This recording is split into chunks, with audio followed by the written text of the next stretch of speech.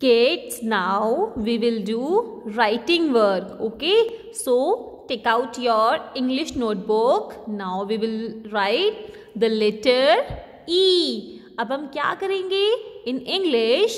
Now we are going to write the letter E. Okay, kids, you already learned now how to trace the letter E and how to write.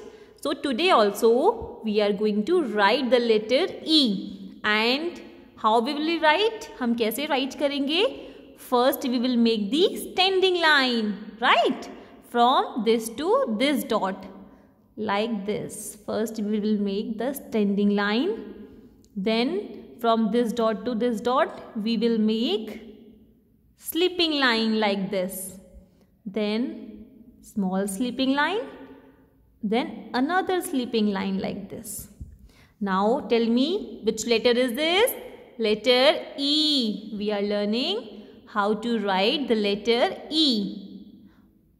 First, we will make this standing line, then slipping, then again slipping, then again slipping. Letter E.